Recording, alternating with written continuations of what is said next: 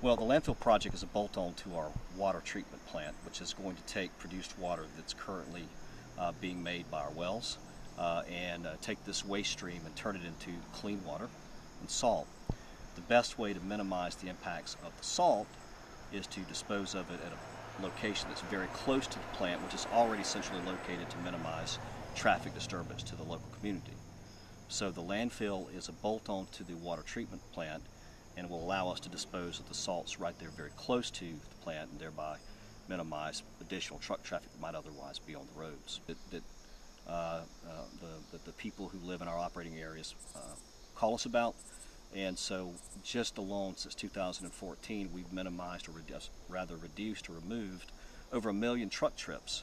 by delivery of water through our freshwater distribution system. So it's taken a million trucks off the road. The wastewater treatment plant and recycling plant will be another phase of that operation to further reduce that impact by removing additional water-related truck miles on the roads up to 10 million miles annually, and all of the greenhouse gas emissions that go along with it. Uh, and we think, again, the landfill piece of it kind of completes that uh, that effort to try to continue to minimize the footprint of our operations. Yes, we will have truck traffic